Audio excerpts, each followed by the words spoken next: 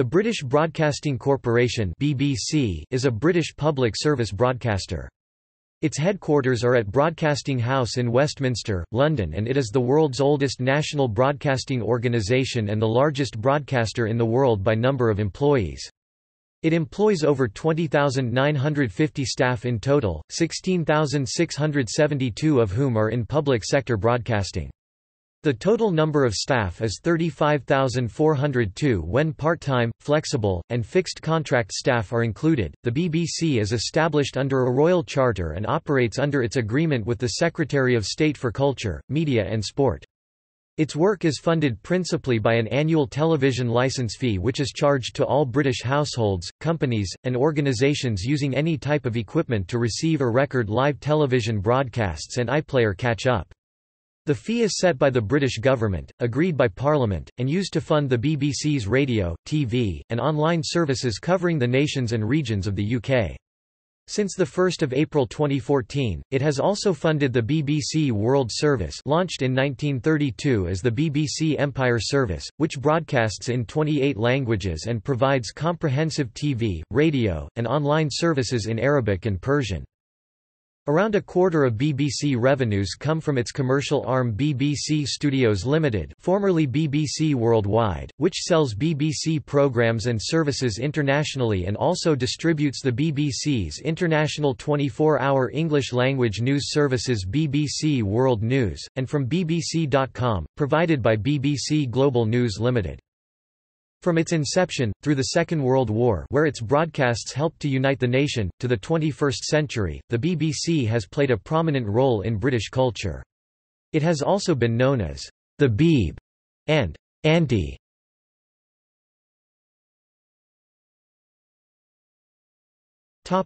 History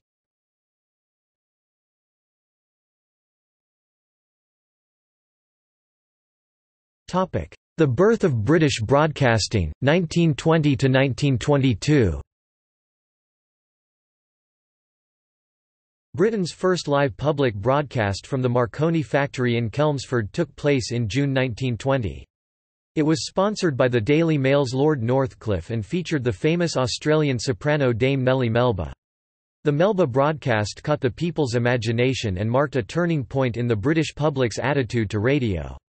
However, this public enthusiasm was not shared in official circles where such broadcasts were held to interfere with important military and civil communications. By late 1920, pressure from these quarters and uneasiness among the staff of the licensing authority, the General Post Office (GPO), was sufficient to lead to a ban on further Chelmsford broadcasts, but by 1922, the GPO had received nearly 100 broadcast license requests and moved to rescind its ban in the wake of a petition by 63 wireless societies with over 3,000 members. Anxious to avoid the same chaotic expansion experienced in the United States, the GPO proposed that it would issue a single broadcasting license to a company jointly owned by a consortium of leading wireless receiver manufacturers, to be known as the British Broadcasting Company Limited. John Reith, a Scottish Calvinist, was appointed its general manager in December 1922 a few weeks after the company made its first official broadcast. The company was to be financed by a royalty on the sale of BBC Wireless receiving sets from approved domestic manufacturers. To this day, the BBC aims to follow the Reithian directive to inform, educate and entertain.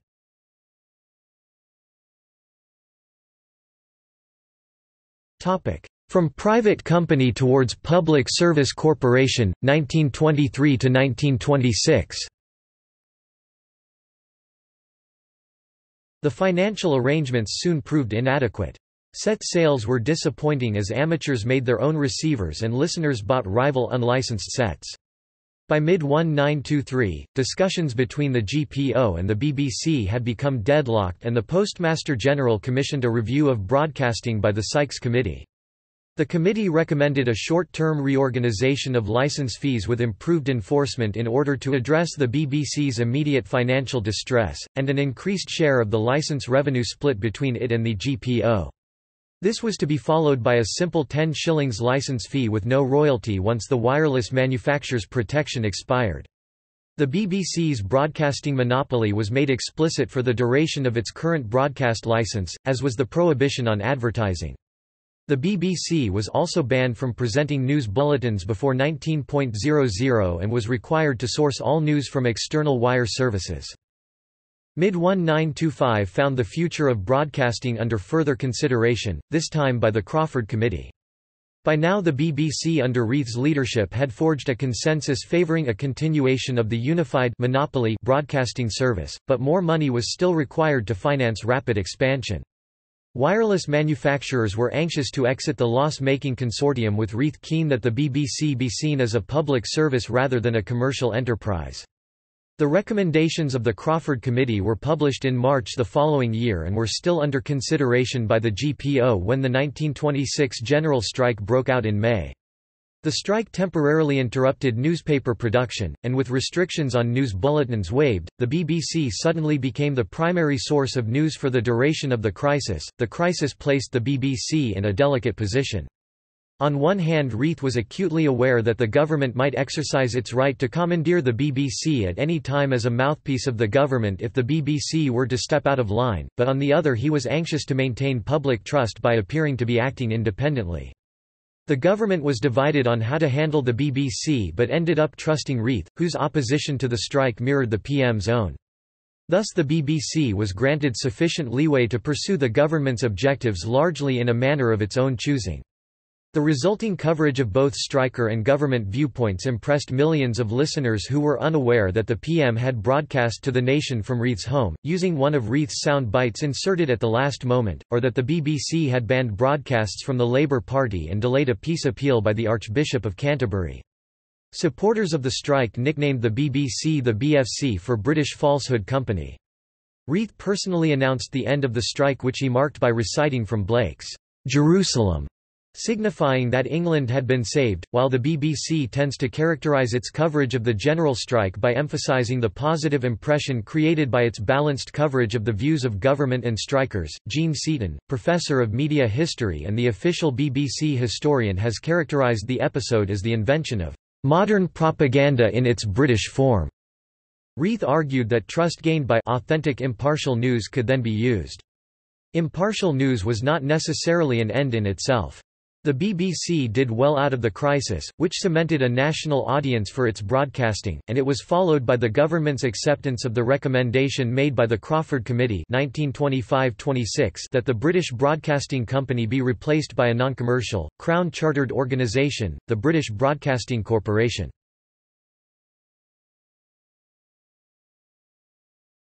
Topic 1927 to 1939. The British Broadcasting Corporation came into existence on 1 January 1927, and Reith, newly knighted, was appointed its first Director General. To represent its purpose and stated values, the new corporation adopted the coat of arms, including the motto, "'Nation shall speak peace unto nation'". British radio audiences had little choice apart from the upscale programming of the BBC.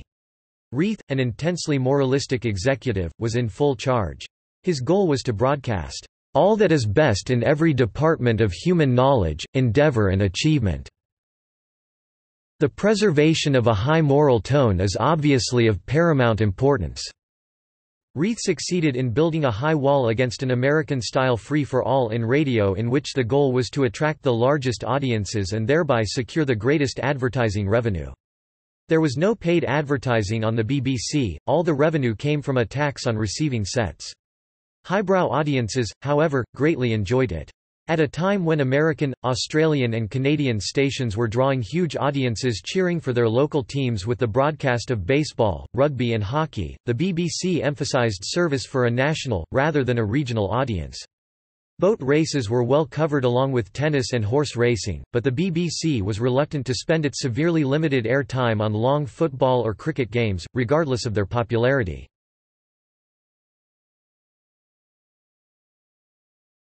Topic: BBC versus other media.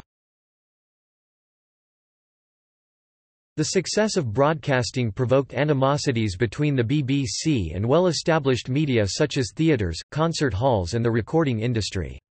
By 1929, the BBC complained that the agents of many comedians refused to sign contracts for broadcasting, because they feared it harmed the artist, by making his material stale, and that it reduces the value of the artist as a visible music hall performer." On the other hand, the BBC was keenly interested in a cooperation with the recording companies who, in recent years, have not been slow to make records of singers, orchestras, dance bands, etc. who have already proved their power to achieve popularity by wireless. Radio plays were so popular that the BBC had received 6,000 manuscripts by 1929, most of them written for stage and of little value for broadcasting. Day in and day out, manuscripts come in, and nearly all go out again through the post, with a note saying, we regret, etc. In the 1930s music broadcasts also enjoyed great popularity, for example the friendly and wide-ranging organ broadcasts at St George's Hall, Langham Place, by Reginald Foort, who held the official role of BBC staff theatre organist from 1936 to 1938. Foort continued to work for the BBC as a freelance into the 1940s and enjoyed a nationwide following. Experimental television broadcasts were started in 1930, using an electromechanical 30-line system developed by John Logie Baird. Limited regular broadcasts using this system began in 1934, and an expanded service now named the BBC Television Service started from Alexandra Palace in 1936, alternating between an improved Baird mechanical 240-line system and the all-electronic 405-line Marconi EMI system. The superiority of the electronic system saw the mechanical system dropped early the following year.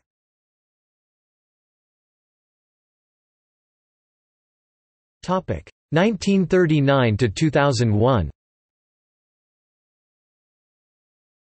Television broadcasting was suspended from 1 September 1939 to 7 June 1946, during the Second World War, and it was left to BBC radio broadcasters such as Reginald Foort to keep the nation's spirits up.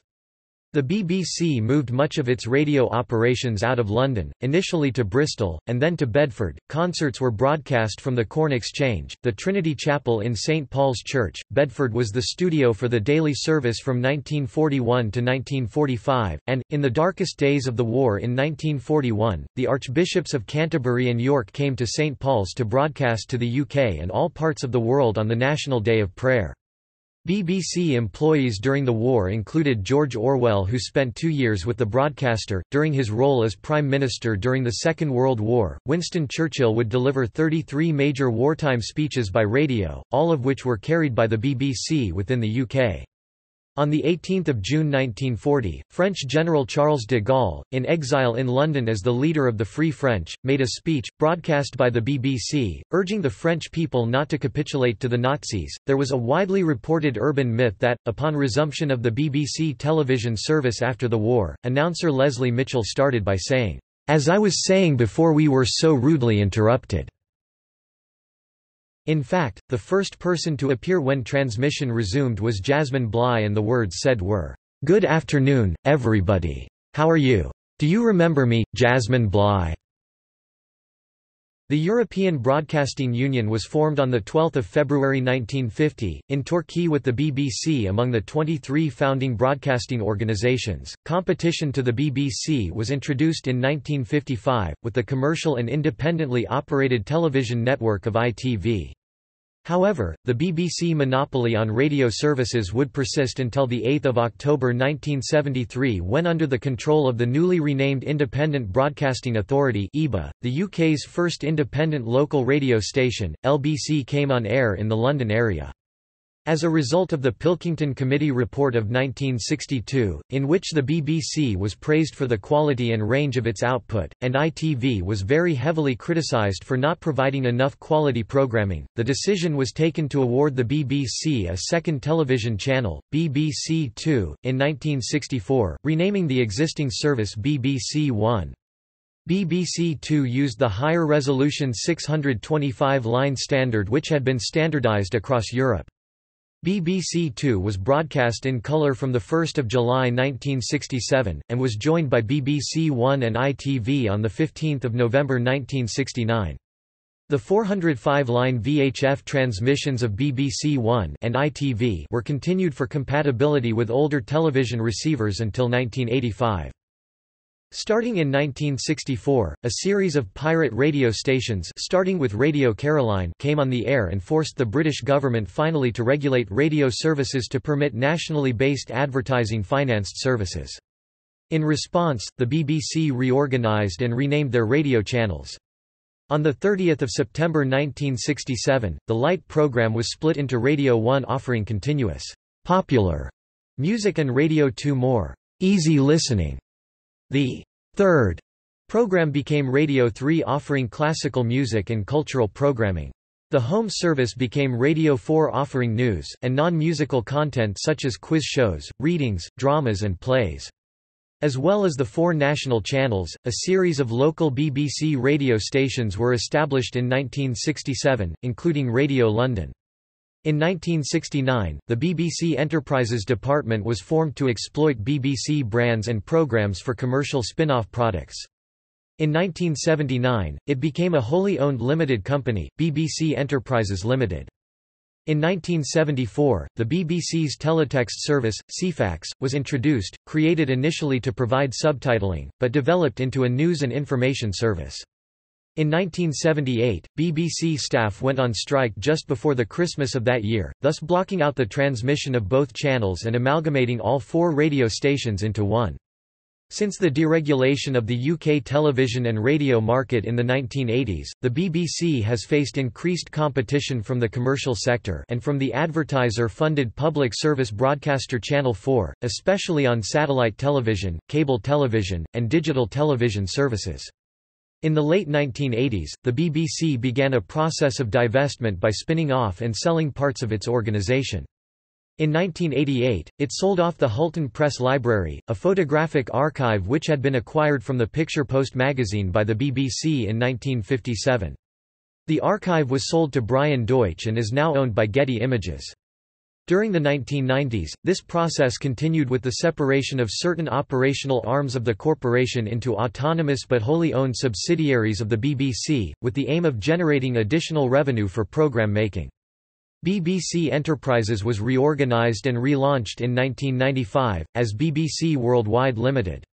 In 1998, BBC Studios, outside broadcasts, post-production, design, costumes and wigs were spun off into BBC Resources Limited The BBC Research Department has played a major part in the development of broadcasting and recording techniques. The BBC was also responsible for the development of the NICAM stereo standard. In recent decades, a number of additional channels and radio stations have been launched. Radio 5 was launched in 1990, as a sports and educational station, but was replaced in 1994, with Radio 5 Live, following the success of the Radio 4 service to cover the 1991 Gulf War. The new station would be a news and sports station. In 1997, BBC News 24, a rolling news channel, launched on digital television services and the following year, BBC Choice launched as the third general entertainment channel from the BBC. The BBC also purchased the Parliamentary Channel, which was renamed BBC Parliament. In 1999, BBC Knowledge launched as a multimedia channel, with services available on the newly launched BBC Text digital teletext service, and on BBC Online. The channel had an educational aim, which was modified later on in its life to offer documentaries.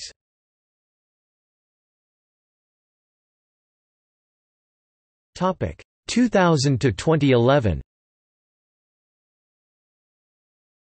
In 2002, several television and radio channels were reorganized. BBC Knowledge was replaced by BBC4 and became the BBC's Arts and Documentaries channel. CBBC, which had been a programming strand as Children's BBC since 1985, was split into CBBC and CBeebies, for younger children, with both new services getting a digital channel, the CBBC channel and CBeebies channel.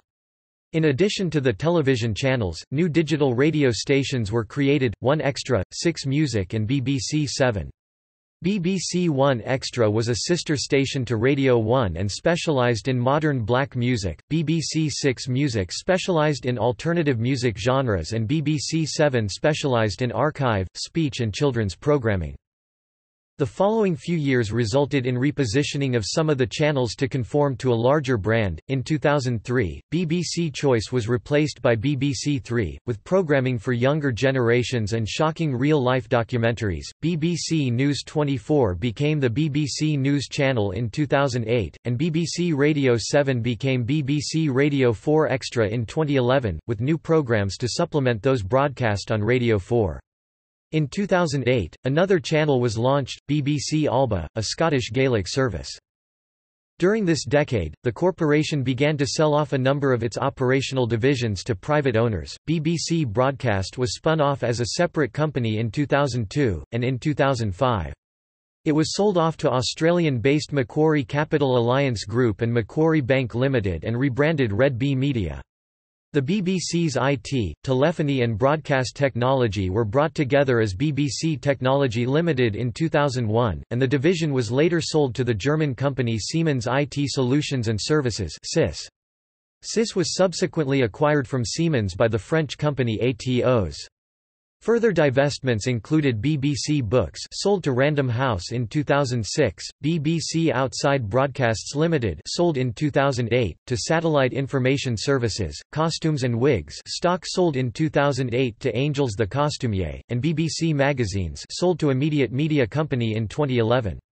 After the sales of OBs and costumes, the remainder of BBC Resources was reorganised as BBC Studios and Post-Production, which continues today as a wholly owned subsidiary of the BBC. The 2004 Hutton inquiry and the subsequent report raised questions about the BBC's journalistic standards and its impartiality. This led to resignations of senior management members at the time including the then Director General, Greg Dyke. In January 2007, the BBC released minutes of the board meeting which led to Greg Dyke's resignation. Unlike the other departments of the BBC, the BBC World Service was funded by the Foreign and Commonwealth Office.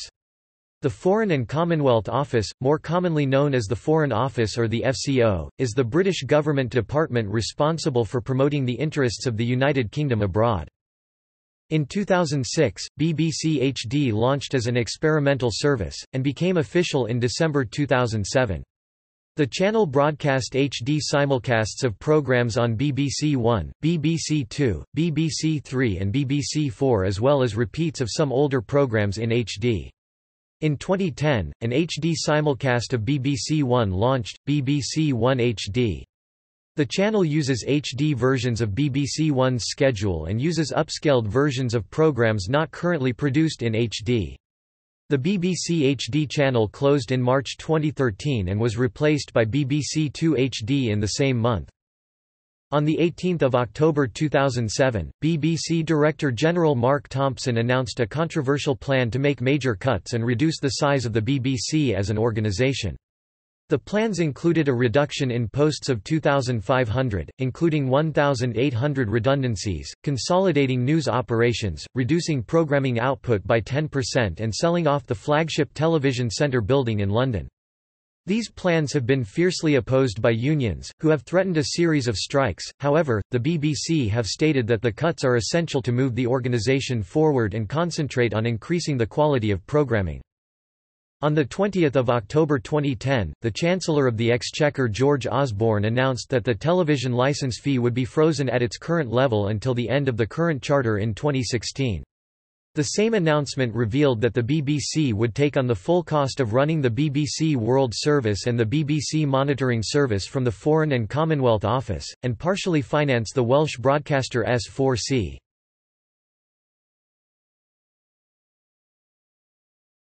2011 to present Further cuts were announced on 6 October 2011, so the BBC could reach a total reduction in their budget of 20%, following the license fee freeze in October 2010, which included cutting staff by 2,000 and sending a further 1,000 to the MediaCityUK development in Salford, with BBC Three moving online only in 2016, the sharing of more programmes between stations and channels, sharing of radio news bulletins, more repeats in schedules, including the whole of BBC Two daytime and for some original original programming to be reduced. BBC HD was closed on 26 March 2013, and replaced with an HD simulcast of BBC Two. however, flagship programmes, other channels and full funding for CBBC and CBeebies would be retained. Numerous BBC facilities have been sold off, including New Broadcasting House on Oxford Road in Manchester. Many major departments have been relocated to Broadcasting House and MediaCityUK, particularly since the closure of BBC Television Centre in March 2013. On 16 February 2016, the BBC Three television service was discontinued and replaced by a digital outlet under the same name, targeting its young adult audience with web series and other content. Under the new Royal Charter instituted 2017, the corporation must publish an annual report to Ofcom, outlining its plans and public service obligations for the next year. In its 2017-18 report, released July 2017, the BBC announced plans to reinvent its output to better compete against commercial streaming services such as Netflix.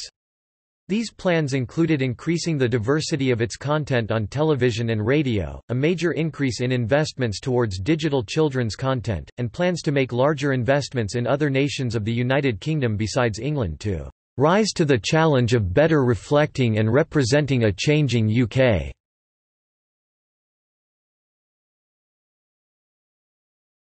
Topic: Governance and corporate structure The BBC is a statutory corporation, independent from direct government intervention, with its activities being overseen from April 2017 by the BBC Board and regulated by Ofcom. The chairman is Sir David Clementi.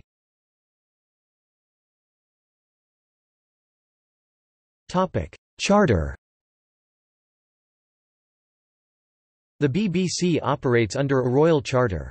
The current charter came into effect on 1 January 2017 and runs until 31 December 2026.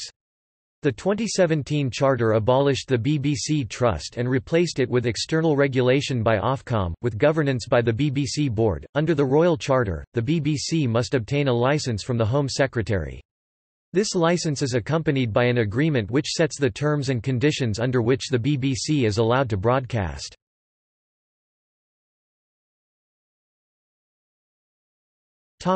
BBC Board The BBC Board was formed in April 2017. It replaced the previous governing body, the BBC Trust, which in itself had replaced the Board of Governors in 2007. The board sets the strategy for the corporation, assesses the performance of the BBC Executive Board in delivering the BBC's services, and appoints the Director General. Regulation of the BBC is now the responsibility of Ofcom. The board consists of the following members.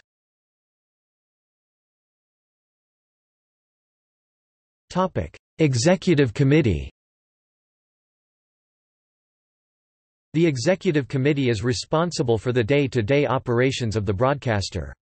Consisting of senior managers of the BBC, the committee meets once per month and is responsible for operational management and delivery of services within a framework set by the board, and is chaired by the Director General, currently Tony Hall.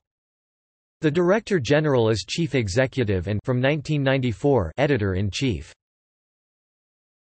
Topic operational divisions The corporation has the following in-house divisions covering the BBC's output and operations. Content, headed by Charlotte Moore is in charge of the corporation's television channels including the commissioning of programming. Radio and Education headed by James Purnell is in charge of BBC Radio and music content across the BBC under the BBC Music brand, including music programmes on BBC television, events such as the BBC Proms and the numerous orchestras such as the BBC Philharmonic, as well as children's BBC, News and Current Affairs headed by Fran Unsworth operates the BBC News operation, including the national, regional and international output on television, radio and online, as well as the output of the BBC Global News Division. It is also in charge of the corporation's current affairs programming and have some responsibility for sports output. The Deputy Director General Group headed by Anne Bulford, contains design and engineering, which is in charge of all digital output, such as BBC Online, BBC iPlayer, BBC Red Button service and developing new technologies through BBC Research and Development. The division also includes other pan-BBC functions including finance, HR, strategy, security and property. Nations and Regions, headed by Ken MacQuarrie is responsible for the corporation's divisions in Scotland, Northern Ireland, Wales, the English regions. Topic commercial divisions The BBC also operates a number of wholly owned commercial divisions. BBC Studios Limited, headed by Tim Davie, is the former in-house television production, entertainment, music and events, factual and scripted drama and comedy. Following a merger with BBC Worldwide in April 2018, it also operates international channels and sells programmes and merchandise in the UK and abroad to gain additional income that is returned to BBC programmes. It is kept separate from the corporation due to its commercial nature. BBC World News Department is in charge of the production and distribution of its commercial global television channel. It works closely with the BBC News Group, but is not governed by it, and shares the corporation's facilities and staff. It also works with BBC Studios, the channel's distributor. BBC StudioWorks is also separate and officially owns and operates some of the BBC's studio facilities, such as the BBC Elstree Centre, leasing them out to productions from within and outside of the corporation.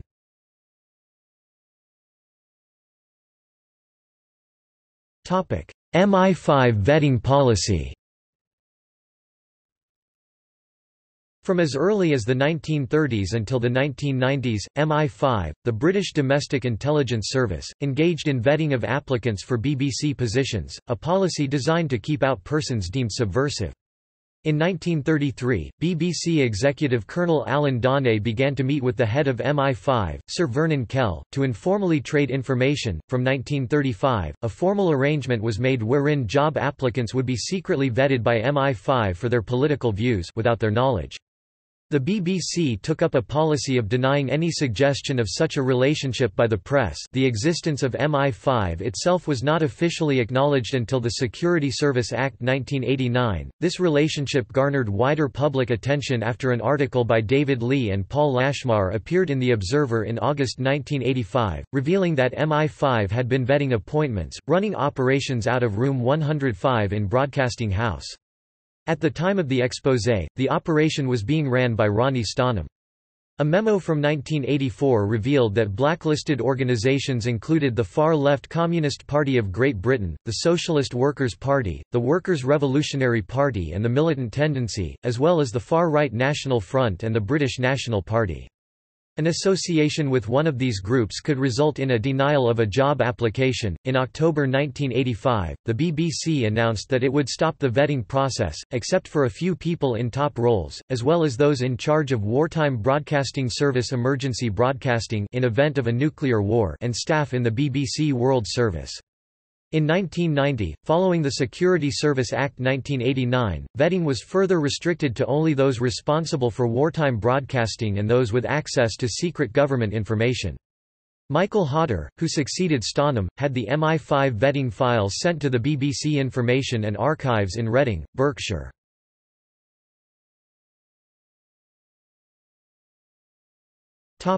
Finances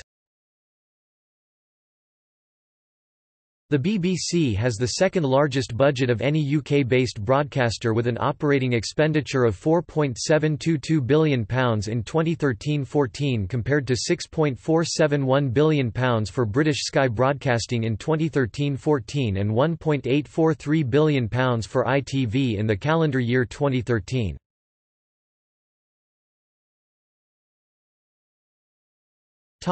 Revenue The principal means of funding the BBC is through the television licence, costing £147 per year per household since April 2017. Such a licence is required to legally receive broadcast television across the UK, the Channel Islands and the Isle of Man. No licence is required to own a television used for other means, or for sound-only radio sets though a separate licence for these was also required for non-TV households until 1971. The cost of a television license is set by the government and enforced by the criminal law. A discount is available for households with only black and white television sets. A 50% discount is also offered to people who are registered blind or severely visually impaired, and the license is completely free for any household containing anyone aged 75 or over. As a result of the UK government's recent spending review, an agreement has been reached between the government and the corporation in which the current licence fee will remain frozen at the current level until the Royal Charter is renewed at the beginning of 2017. The BBC pursues its licence fee collection and enforcement under the trading name TV licensing. The revenue is collected privately by Capita, an outside agency, and is paid into the central government consolidated fund, a process defined in the Communications Act 2003. Funds are then allocated by the Department of Culture, Media and Sport DCMS and the Treasury and approved by Parliament via legislation. Additional revenues are paid by the Department for Work and Pensions to compensate for subsidized licenses for eligible over 75-year-olds. The license fee is classified as a tax, and its evasion is a criminal offence. Since 1991, collection and enforcement of the license fee has been the responsibility of the BBC in its role as TV licensing authority. Thus, the BBC is a major prosecuting authority in England and Wales and an investigating authority in the UK as a whole. The BBC carries out surveillance mostly using subcontractors on properties under the auspices of the Regulation of Investigatory Powers Act 2000 and may conduct searches of a property using a search warrant. According to the BBC, more than 204,000 people in the UK were caught watching TV without a licence during the first six months of 2012. License fee evasion makes up around one-tenth of all cases prosecuted in magistrates' courts. Income from commercial enterprises and from overseas sales of its catalogue of programs has substantially increased over recent years, with BBC Worldwide contributing some £145 million to the BBC's core public service business. According to the BBC's 2013-14 annual report, its total income was £5 billion £5.066 billion, which can be broken down as follows. £3.726 billion in license fees collected from householders. £1.023 billion from the BBC's commercial businesses £244.6 million from government grants, of which £238.5 million is from the Foreign and Commonwealth Office for the BBC World Service, £72.1 million from other income, such as rental collections and royalties from overseas broadcasts of programming. The license fee has, however, attracted criticism. It has been argued that in an age of multi-stream, multi-channel availability, an obligation to pay a license fee is no longer appropriate.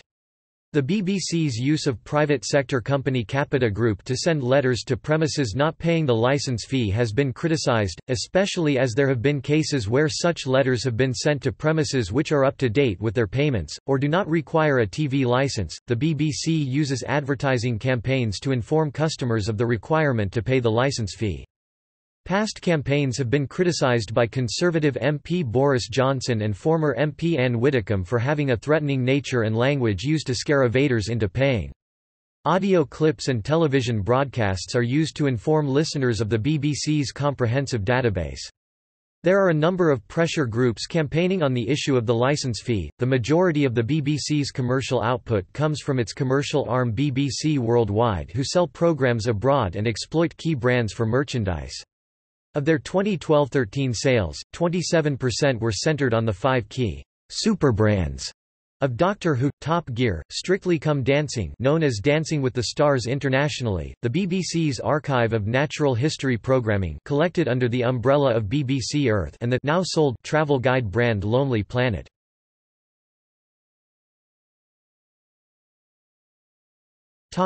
Expenditure The following expenditure figures are from 2012-13 and show the expenditure of each service they are obliged to provide. A significantly large portion of the BBC's income is spent on the corporation's television and radio services with each service having a different budget based upon their content.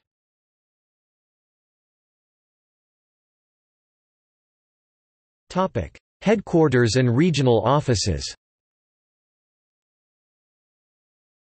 Broadcasting House in Portland Place, London, is the official headquarters of the BBC. It is home to six of the ten BBC national radio networks, BBC Radio 1, BBC Radio 1 Extra, BBC Asian Network, BBC Radio 3, BBC Radio 4, and BBC Radio 4 Extra. It is also the home of BBC News, which relocated to the building from BBC Television Centre in 2013. On the front of the building are statues of Prospero and Ariel, characters from William Shakespeare's play The Tempest, sculpted by Eric Gill. Renovation of Broadcasting House began in 2002, and was completed in 2013. Until it closed at the end of March 2013, BBC Television was based at BBC Television Centre, a purpose-built television facility and the second built in the country located in White City, London. This facility has been host to a number of famous guests and programmes through the years, and its name and image is familiar with many British citizens. Nearby, the BBC White City complex contains numerous programme offices, housed in Centre House, the Media Centre and Broadcast Centre. It is in this area around Shepherd's Bush that the majority of BBC employees work. As part of a major reorganisation of BBC property, the entire BBC News operation relocated from the news centre at BBC Television Centre to the refurbished Broadcasting House to create what is being described as one of the world's largest live broadcast centres. The BBC News Channel and BBC World News relocated to the premises in early 2013. Broadcasting House is now also home to most of the BBC's national radio stations, and the BBC World Service. The major part of this plan involves the demolition of the two post-war extensions to the building and construction of an extension designed by Sir Richard MacCormac of MJP Architects. This move will concentrate the BBC's London operations, allowing them to sell Television Centre, which is expected to be completed by 2016. In addition to the scheme above, the BBC is in the process of making and producing more programmes outside London, involving production centres such as Belfast, Cardiff, Glasgow, Newcastle, and, most notably, in Greater Manchester as part of the BBC North Project scheme where several major departments, including BBC Northwest, BBC Manchester, BBC Sport, BBC Children's, CBeebies, Radio 5 Live, BBC Radio 5 Live Sports Extra, BBC Breakfast, BBC Learning and the BBC Philharmonic have all moved from their previous locations in either London or New Broadcasting House, Manchester to the new 200-acre MediaCityUK production facilities in Salford, that form part of the large BBC North Group division and will therefore become the biggest staffing operation outside London, as well as the two main sites in London Broadcasting House and White City. There are seven other important BBC production centres in the UK, mainly specialising in different productions. Broadcasting House Cardiff, has been home to BBC Cymru Wales, which specialises in drama production. Open since October 2011, and containing seven new studios, Roath Lock is notable as the home of productions such as Doctor Who and Casualty. Broadcasting House Belfast, home to BBC Northern Ireland, specialises in original drama and comedy, and has taken part in many co-productions with independent companies and notably with RTE in the Republic of Ireland. BBC Scotland, based in Pacific Quay, Glasgow is a large producer of programmes for the network, including several quiz shows. In England, the larger regions also produce some programming. Previously, the largest hub of BBC programming from the regions is BBC North West. At present they produce all religious and ethical programs on the BBC, as well as other programs such as A Question of Sport. However, this is to be merged and expanded under the BBC North project, which involved the region moving from New Broadcasting House, Manchester, to MediaCityUK. BBC Midlands, based at the Mailbox in Birmingham, also produces drama and contains the headquarters for the English regions and the BBC's daytime output. Other production centres include Broadcasting House Bristol, home of BBC West and famously the BBC Natural History Unit and to a lesser extent, Quarry Hill in Leeds, home of BBC Yorkshire.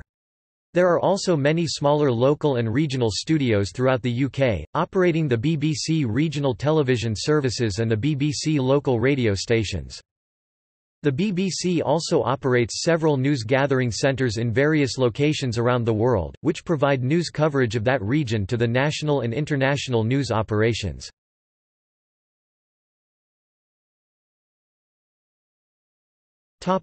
Technology Atos service In 2004, the BBC contracted out its former BBC Technology division to the German engineering and electronics company Siemens IT Solutions and Services outsourcing its IT, telephony and broadcast technology systems. When Atos Origin acquired the SIS division from Siemens in December 2010 for €850 million, Euros £720 million pounds, the BBC support contract also passed to Atos, and in July 2011, the BBC announced to staff that its technology support would become an Atos service.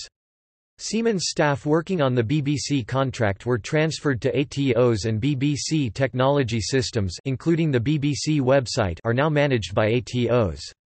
In 2011, the BBC's chief financial officer Zarin Patel stated to the House of Commons Public Accounts Committee that, following criticism of the BBC's management of major IT projects with Siemens such as the Digital Media Initiative, the BBC partnership with Atos would be instrumental in achieving cost savings of around £64 million as part of the BBC's "'Delivering Quality First' programme. In 2012, the BBC's Chief Technology Officer, John Linwood, expressed confidence in service improvements to the BBC's technology provision brought about by Atos.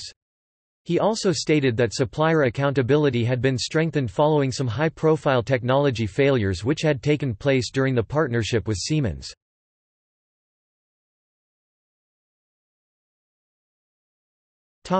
Services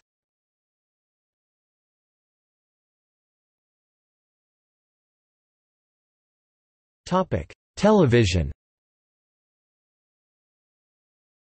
The BBC operates several television channels in the UK.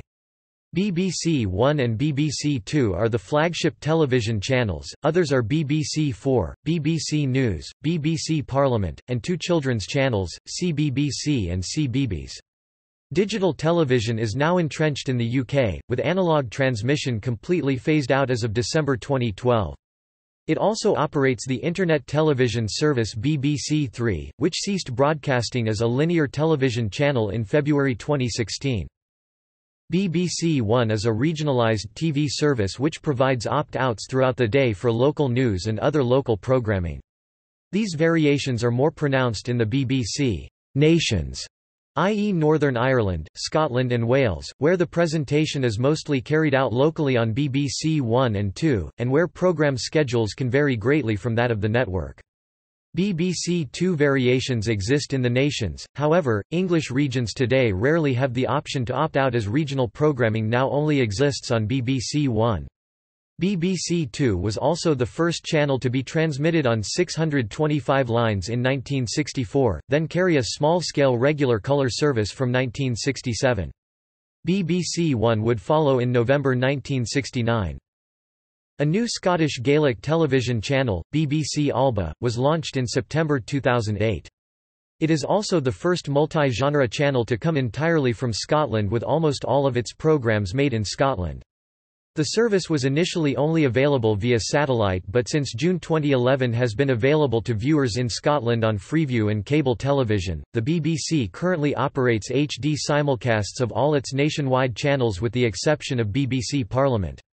Until 26 March 2013, a separate channel called BBC HD was available, in place of BBC 2 HD. It launched on 9 June 2006, following a 12-month trial of the broadcasts. It became a proper channel in 2007, and screened HD programs as simulcasts of the main network, or as repeats. The corporation has been producing programs in the format for many years, and stated that it hoped to produce 100% of new programs in HD TV by 2010. On 3 November 2010, a high-definition simulcast of BBC One was launched, entitled BBC One HD, and BBC Two HD launched on 26 March 2013, replacing BBC HD. In the Republic of Ireland, Belgium, the Netherlands and Switzerland, the BBC channels are available in a number of ways. In these countries digital and cable operators carry a range of BBC channels. These include BBC One, BBC Two, BBC Four and BBC World News, although viewers in the Republic of Ireland may receive BBC services via overspill from transmitters in Northern Ireland or Wales, or via deflectors Transmitters in the Republic which rebroadcast broadcasts from the UK, received off-air, or from digital satellite. Since 1975, the BBC has also provided its TV programmes to the British Forces Broadcasting Service BFBS, allowing members of UK military serving abroad to watch them on four dedicated TV channels. From 27 March 2013, BFBS will carry versions of BBC One and BBC Two, which will include children's programming from CBBC, as well as carrying programming from BBC Three on a new channel called BFBS Extra. Since 2008, all the BBC channels are available to watch online through the BBC iPlayer service. This online streaming ability came about following experiments with live streaming, involving streaming certain channels in the UK. In February 2014, Director General Tony Hall announced that the corporation needed to save £100 million. In March 2014, the BBC confirmed plans for BBC Three to become an Internet-only channel.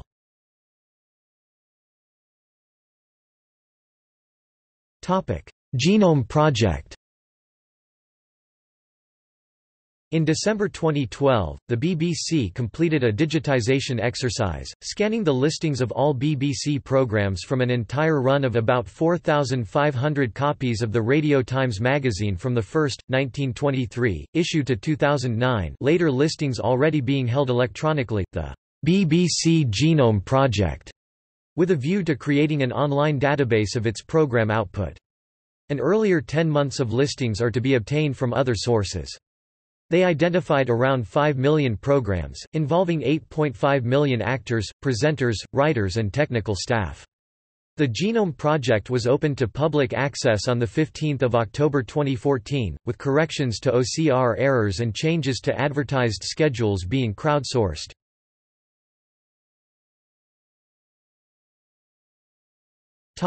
Radio The BBC has 10 radio stations serving the whole of the UK, a further six stations in the national regions Wales, Scotland, and Northern Ireland, and 40 other local stations serving defined areas of England. Of the 10 national stations, five are major stations and are available on FM and or AM as well as on DAB and online. These are BBC Radio 1, offering new music and popular styles and being notable for its chart show, BBC Radio 2, playing adult contemporary, country and soul music amongst many other genres, BBC Radio 3, presenting classical and jazz music together with some spoken word programming of a cultural nature in the evenings, BBC Radio 4, focusing on current affairs, factual and other speech-based programming, including drama and comedy, and BBC Radio 5 Live, broadcasting 24 24-hour news, sport and talk programs. In addition to these five stations, the BBC also runs a further five stations that broadcast on DAB and online only. These stations supplement and expand on the Big Five stations, and were launched in 2002. BBC Radio 1 Extra Sisters Radio 1, and broadcasts new black music and urban tracks. BBC Radio 5 Live Sports Extra Sisters 5 Live and offers extra sport analysis, including broadcasting sports that previously were not covered. BBC Radio 6 Music offers alternative music genres and is notable as a platform for new artists. BBC Radio 7, later renamed BBC Radio 4 Extra, provided archive drama, comedy and children's programming. Following the change to Radio 4 Extra, the service has dropped a defined children's strand in favor of family-friendly drama and comedy. In addition, new programs to complement Radio 4 programs were introduced such as Ambridge Extra, and Desert Island Discs Revisited. The final station is the BBC Asian Network, providing music, talk and news to this section of the community. This station evolved out of local radio stations serving certain areas, and as such this station is available on medium wave frequency in some areas of the Midlands. As well as the national stations, the BBC also provides 40 BBC local radio stations in England and the Channel Islands, each named for and covering a particular city and its surrounding area e.g. BBC Radio Bristol, County or Region e.g. BBC Three Counties Radio, or geographical area e.g. BBC Radio Solent covering the central south coast. A further six stations broadcast in what the BBC terms, the national regions, Wales, Scotland, and Northern Ireland.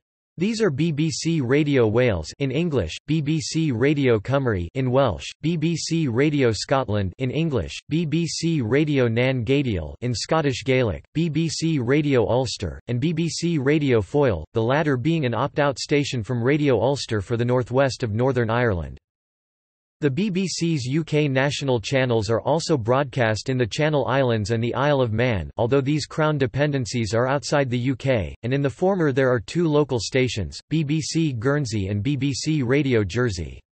There is no BBC local radio station, however, in the Isle of Man, partly because the island has long been served by the popular independent commercial station, Manx Radio, which predates the existence of BBC local radio. BBC services in the dependencies are financed from television licence fees which are set at the same level as those payable in the UK, although collected locally. This is the subject of some controversy in the Isle of Man since, as well as having no BBC local radio service, the island also lacks a local television news service analogous to that provided by BBC Channel Islands. For a worldwide audience, the BBC World Service provides news, current affairs and information in 28 languages, including English, around the world and is available in over 150 capital cities. It is broadcast worldwide on shortwave radio, DAB and online and has an estimated weekly audience of 192 million, and its websites have an audience of 38 million people per week. Since 2005, it is also available on DAB in the UK, a step not taken before, due to the way it is funded. The service is funded by a parliamentary grant in aid, administered by the Foreign Office, however, following the government's spending review in 2011, this funding will cease, and it will be funded for the first time through the license fee. In recent years, some services of the World Service have been reduced. The Thai service ended in 2006, as did the Eastern European languages, with resources diverted instead into the new BBC Arabic television. Historically, the BBC was the only legal radio broadcaster based in the UK mainland until 1967, when University Radio York, URY, then under the name Radio York, was launched as the first, and now oldest, legal independent radio station in the country. However, the BBC did not enjoy a complete monopoly before this as several continental stations, such as Radio Luxembourg, had broadcast programmes in English to Britain since the 1930s and the Isle of Man-based Manx Radio began in 1964. Today, despite the advent of commercial radio, BBC radio stations remain among the most listened to in the country, with Radio 2 having the largest audience share up to 16.8% in 2011-12 and Radios 1 and 4 ranked second and third in terms of weekly reach. BBC programming is also available to other services and in other countries. Since 1943, the BBC has provided radio programming to the British Forces Broadcasting Service, which broadcasts in countries where British troops are stationed. BBC Radio 1 is also carried in the United States and Canada on Sirius XM Radio online streaming only. The BBC is a patron of the Radio Academy.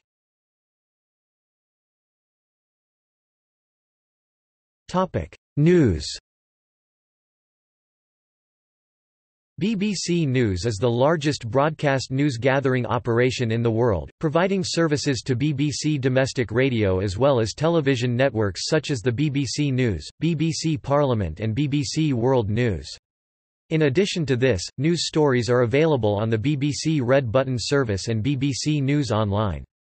In addition to this, the BBC has been developing new ways to access BBC News, as a result has launched the service on BBC Mobile, making it accessible to mobile phones and PDAs, as well as developing alerts by email, digital television, and on computers through a desktop alert.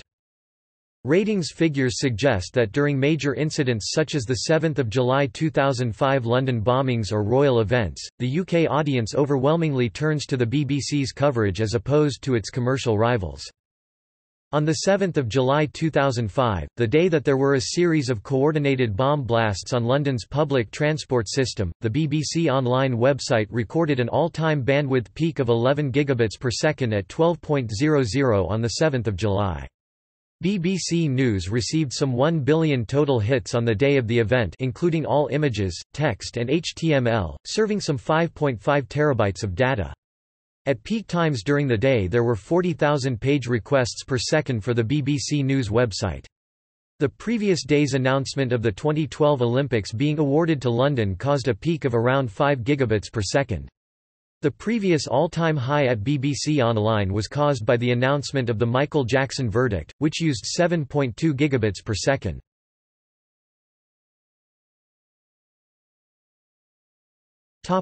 Internet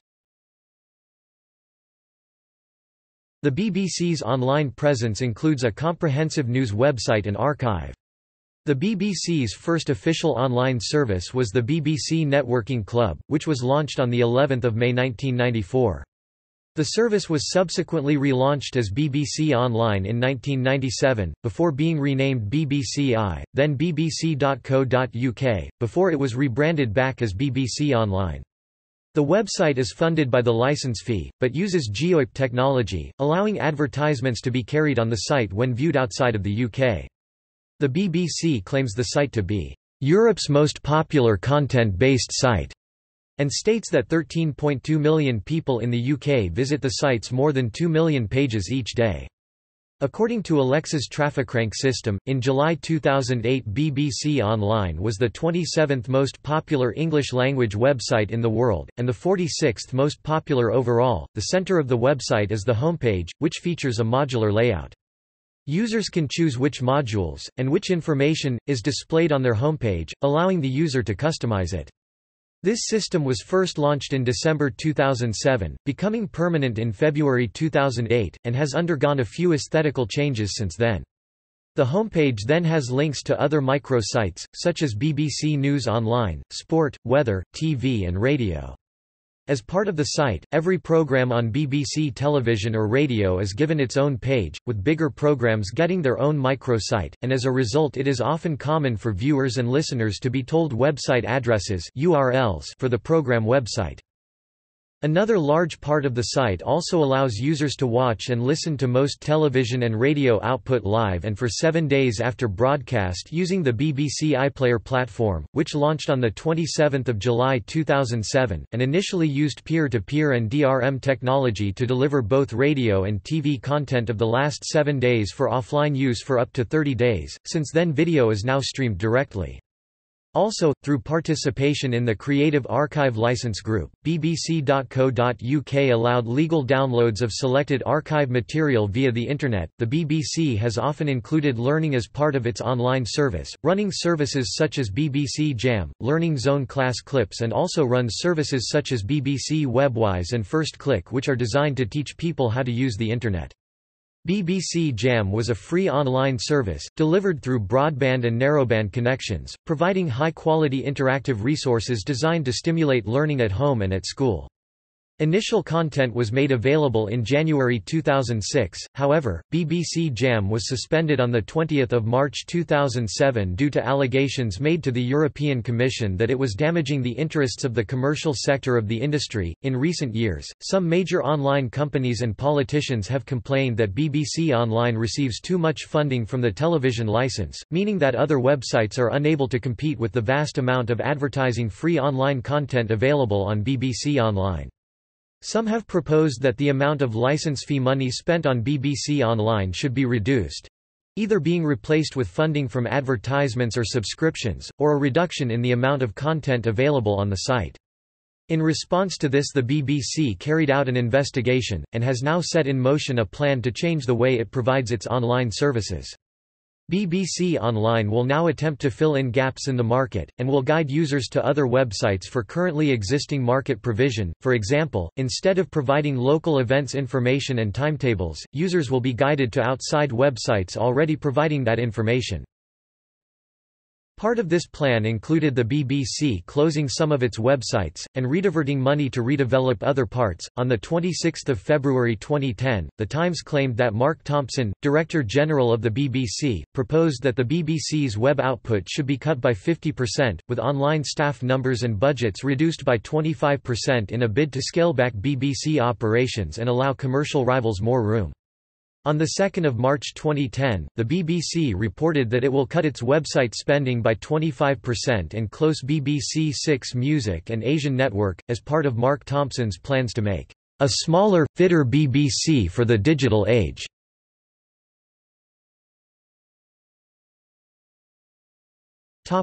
Interactive television BBC Red Button is the brand name for the BBC's interactive digital television services, which are available through Freeview digital terrestrial, as well as Freesat, Sky satellite, and Virgin Media cable. Unlike Ceefax, the service's analog counterpart, BBC Red Button is able to display full-color graphics, photographs, and video, as well as programs and can be accessed from any BBC channel. The service carries news, weather and sport 24 hours a day, but also provides extra features related to programs specific at that time. Examples include viewers to play along at home to game shows, to give, voice and vote on opinions to issues, as used alongside programs such as Question Time. At some points in the year, when multiple sporting events occur, some coverage of less mainstream sports or games are frequently placed on the red button for viewers to watch. Frequently, other features are added unrelated to programs being broadcast at that time, such as the broadcast of the Doctor Who animated episode Dreamland in November 2009.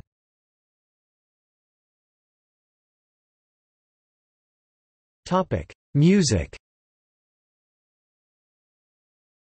The BBC employs staff orchestras, a choir, and supports two amateur choruses, based in BBC venues across the UK, the BBC Symphony Orchestra, the BBC Singers, BBC Symphony Chorus and BBC Big Band based in London, the BBC Scottish Symphony Orchestra in Glasgow, the BBC Philharmonic in Manchester, the BBC Concert Orchestra based in Watford and the BBC National Orchestra of Wales in Cardiff. It also buys a selected number of broadcasts from the Ulster Orchestra in Belfast. Many famous musicians of every genre have played at the BBC, such as the Beatles The Beatles Live at the BBC is one of their many albums.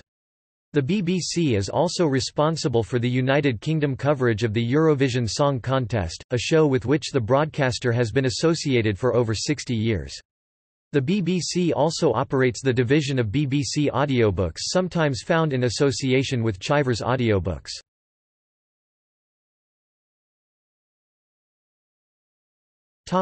Other The BBC operates other ventures in addition to their broadcasting arm.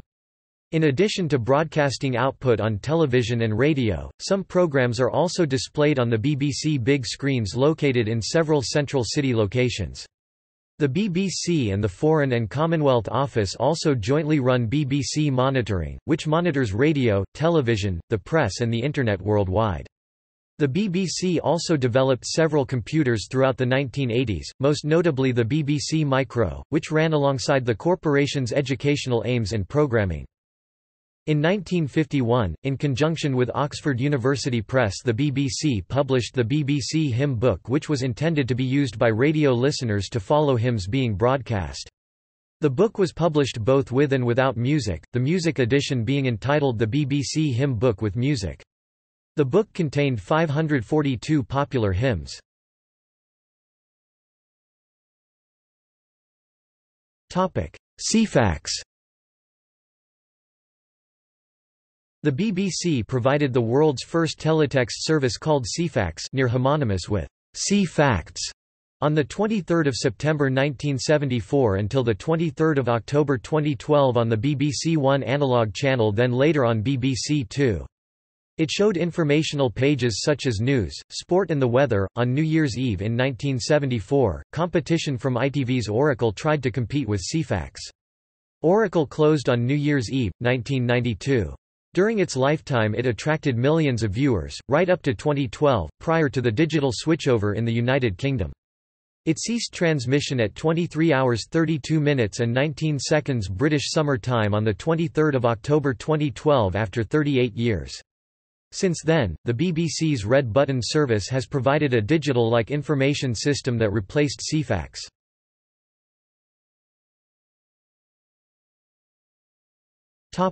BritBox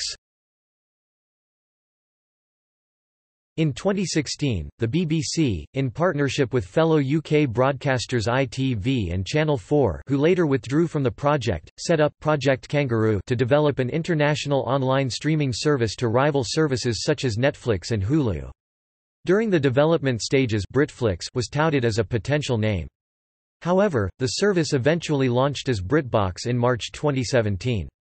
The online platform shows a catalogue of classic BBC and ITV shows, as well as making a number of programmes available shortly after their UK broadcast. As of 2017, BritBox is available in the United States with the potential availability for new markets in the future.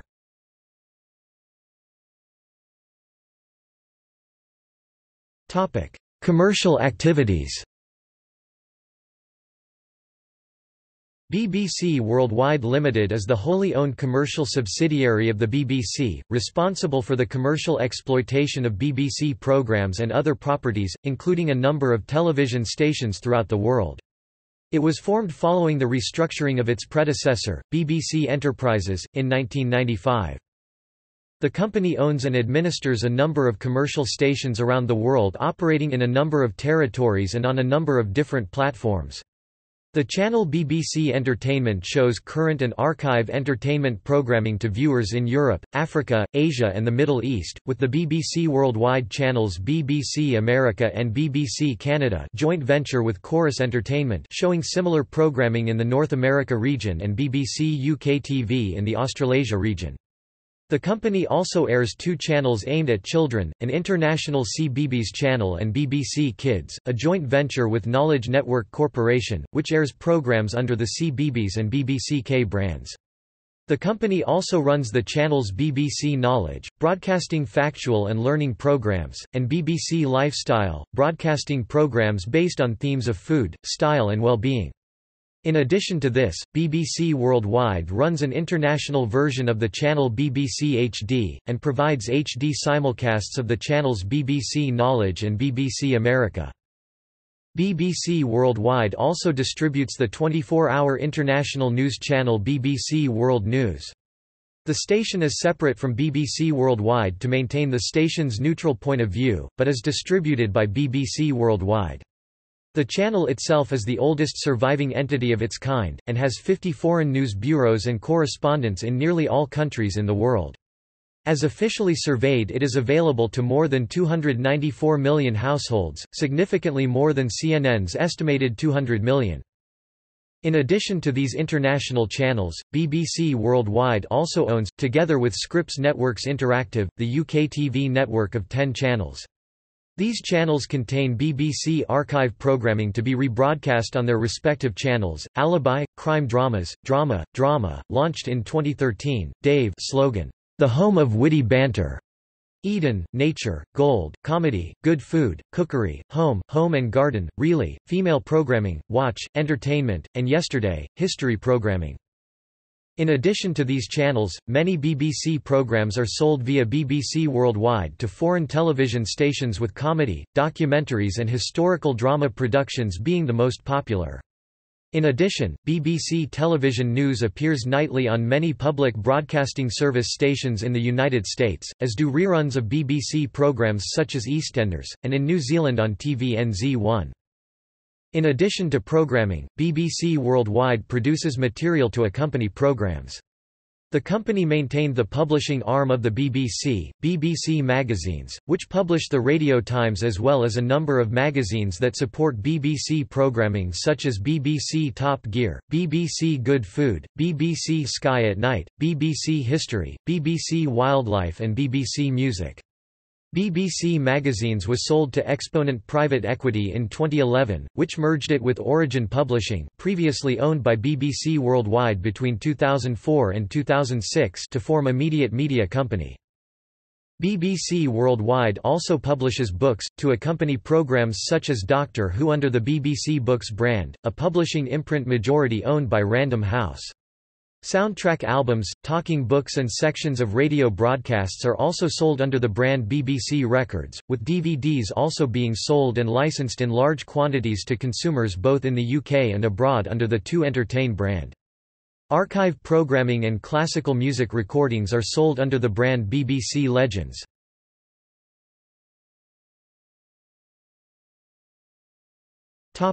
Cultural significance Until the development, popularization, and domination of television, radio was the broadcast medium upon which people in the United Kingdom relied. It reached into every home in the land, and simultaneously united the nation, an important factor during the Second World War."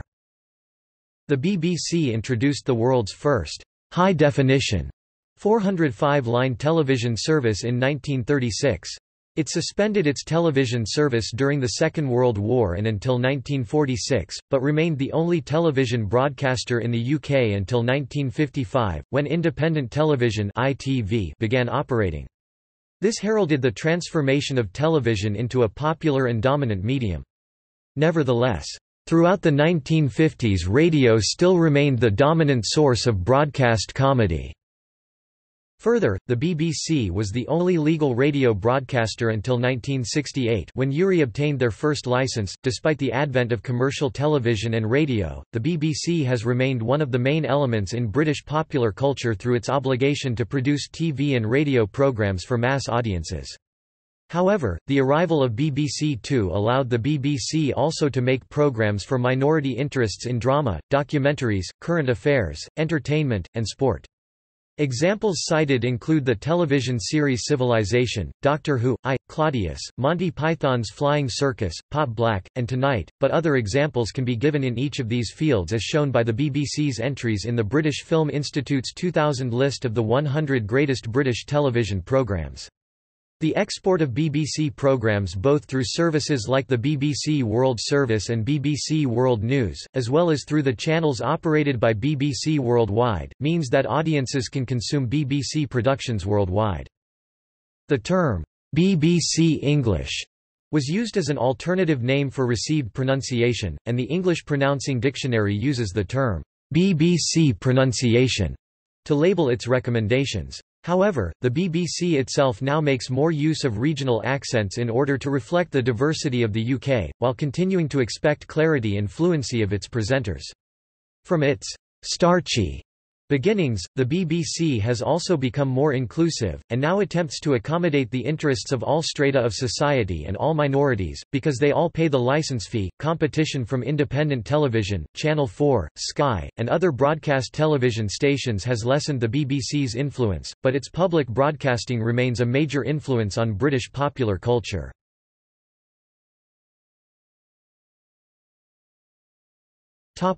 Attitudes toward the BBC in popular culture Older domestic UK audiences often refer to the BBC as the Beeb, a nickname originally coined by Peter Sellers on The Goon Show in the 1950s, when he referred to the Beeb Beeb Ceeb. It was then borrowed, shortened and popularised by radio DJ Kenny Everett. David Bowie's recording sessions at the BBC was released as Bowie at the Beeb, while Queen's recording sessions with the BBC was released as at the Beeb. Another nickname, now less commonly used, is Auntie, said to originate from the old-fashioned Auntie knows best attitude, or the idea of aunties and uncles who are present in the background of one's life but possibly a reference to the aunties and uncles who presented children's programs in the early days in the days when John Reith, the BBC's first Director-General, was in charge. To celebrate the 50th anniversary of the BBC the song, Auntie, was released in 1972. The two nicknames have also been used together as Auntie Beeb.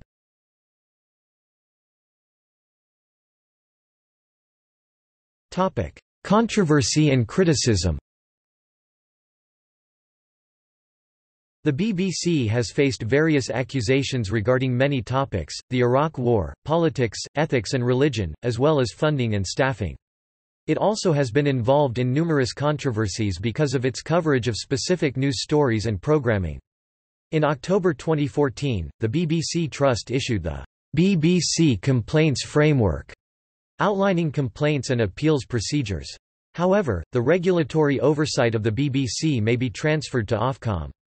The British House of Commons Select Committee on Culture Media and Sport recommended in its report, The Future of the BBC, that Ofcom should become the final arbiter of complaints made about the BBC. The BBC has long faced accusations of liberal and left wing bias.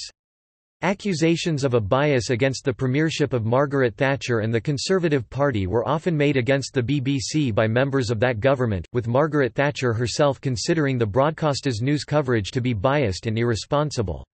In 2011, Peter Sissons, a main news presenter at the BBC from 1989 2009, said that, "...at the core of the BBC, in its very DNA, is a way of thinking that is firmly of the left." Another BBC presenter, Andrew Marr, commented that, "...the BBC is not impartial or neutral. It has a liberal bias, not so much a party political bias. It is better expressed as a cultural liberal bias." Former BBC director Roger Mosey classified it as, "...liberal defensive." Conversely, writing for The Guardian, the left-wing columnist Owen Jones stated, "...the truth is the BBC is stacked full of right-wingers." And he cited as an example of bias its employment of ultra-Thatcherite Andrew Neil as a politics presenter. Paul Mason, the former economics editor of the BBC's Newsnight programme, criticised the BBC as «unionist» in relation to its coverage of the Scottish independence referendum campaign and said its senior employees tended to be of a «neo-liberal» point of view. The BBC has also been characterised as a pro-monarchist institution. The BBC was accused of propaganda by journalist and author Toby Young due to what he believed to be an anti-Brexit approach, which included a whole day of live programming on migration. A BBC World Service newsreader who presented a daily show produced for Kyrgyzstan was claimed to have participated in an opposition movement with the goal of overthrowing the government led by President Kurmanbek Bakiyev. The BBC presenter resigned from his post in 2010 once the allegations of his participation in the revolution became public.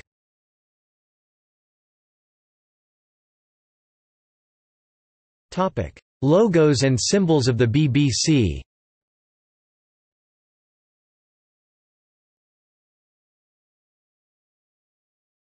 Topic: See also. List of companies based in London.